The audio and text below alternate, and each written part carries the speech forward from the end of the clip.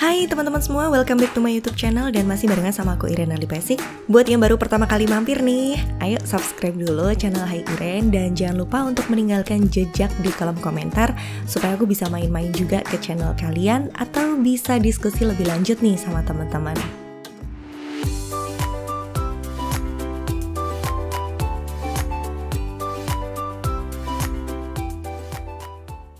Beberapa waktu yang lalu aku ngebahas tentang tips seputar konten dubbing dan terima kasih banyak karena respon dari kalian tuh positif sekali. Jadi aku simpulkan aja beberapa pertanyaan dari subscriber yang tulis di kolom komentar YouTube dan juga DM Instagram. Kak, gimana sih caranya kalau misalnya aku salah-salah ngomong terus nyatuinnya suara tersebut ke dalam video itu seperti apa sih? Kakak pakai alat apa aja, software editingnya apa aja. Di sini teman-teman bebas mau pakai software perekam suara atau software editing video apa, kemudian lewat media apa itu terserah kalian. Kalau aku menggunakan Audacity untuk Windows dan juga software editingnya dengan Wondershare Filmora. Dan untuk editingnya aku pakai Filmora aja yang buat Windows ya. Di sini aku menjelaskan caranya, step-stepnya, soal software, kemudian alat perekam suara, itu semua kembali ke teman-teman. Kalian lebih nyaman pakai yang mana? Kalau dulu aku memang pakai KineMaster di handphone. Mungkin ada yang suka pakai Filmora atau pakai CapCut video, VN dan lain sebagainya. Itu terserah kalian. Pokoknya yang senyamannya kalian aja. Di sini aku menggunakan Wondershare Filmora untuk Windows. Aku akan menambahkan video yang akan aku masukkan ke dalam sebuah project. Di sini kamu bisa menggunakan software apa aja ya. Selanjutnya, untuk aplikasi perekam suara, aku menggunakan Audacity. Kemudian aku akan lanjutkan dengan merekam suara. Ya, ternyata masih ada yang salah nih. Gak apa-apa, kita tik ulang ya. Setelah selesai merekam suara, jangan langsung kamu jadiin format MP3 atau WAV gitu aja. Kita bersihkan dulu dari noise.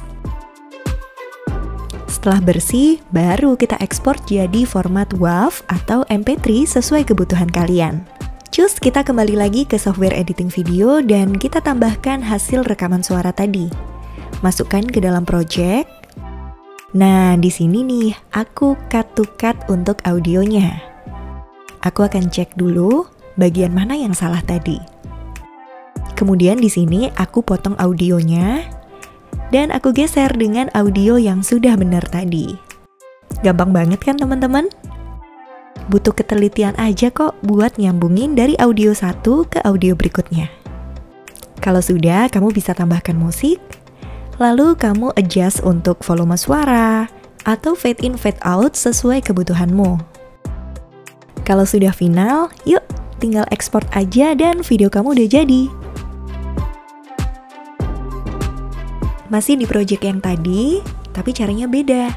Aku rekaman nggak menggunakan Audacity, tapi langsung di aplikasi editing video. Kayak gini nih teman-teman. Pastikan ya di aplikasi editing video kamu ada fitur tambahan berupa perekam suara.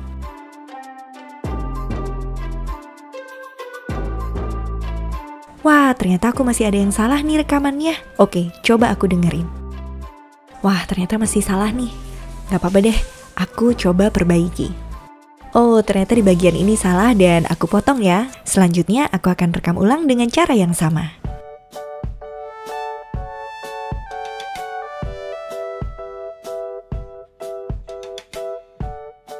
Kalau ada yang salah, di sini kamu bisa langsung potong teman-teman dan kamu sesuaikan ulang sesuai dengan kebutuhanmu.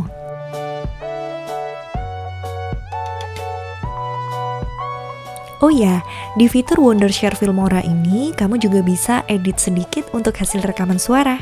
Kamu bisa hilangkan noise, dan kamu juga bisa atur volume suara yang gak rata pada rekaman suara. Oh ya, pitchnya bisa kamu ganti-ganti nih. Tapi sayangnya di fitur ini nggak selengkap Audacity atau Adobe Audition. Yeay, akhirnya kita udah selesai teman-teman. Kalau sudah, kita ekspor dan videonya jadi deh. Saran aku untuk teman-teman yang lagi belajar sulis suara ketika ada salah pengucapan satu kalimat itu salah di satu kata, jangan kita hanya mengulangi di kata tersebut. Saran dari aku, coba diulangi satu kalimat utuh. Lebih baik lagi kalau kalian mencoba beberapa tone, jadi pas disambungin di video nanti kalian punya beberapa opsi. Oh, yang ini tone-nya nggak nyambung deh sama yang tadi, speednya kecepatan. Yang tadi temponya agak lambat. Opsi yang lain, oh ini akhirnya jomplang nih dari tone sebelumnya ke tone yang berikutnya. Nah, itu tadi adalah sedikit tips singkat dari aku buat teman-teman semua, bagaimana kita merekam suara kemudian menyatukannya dalam bentuk video. Apalagi nih kalau kita salah-salah pengucapan ya. Menurut kalian mana yang lebih mudah dari cara pertama atau cara kedua nih? Oh ya, kalau teman-teman punya cara lain yang jauh lebih praktis, lebih singkat dan menurut kalian itu worth it banget, boleh loh kalian tulis di kolom komentar supaya bisa menjadi informasi pelengkap buat teman-teman semua yang lagi pengen belajar di dunia sulis suara. Oke, sekian dulu tips singkat dari aku, mudah-mudahan aja bisa membantu kalian ya. Dan tetap semangat untuk belajar. Sampai jumpa lagi di video-videoku selanjutnya. Dadah!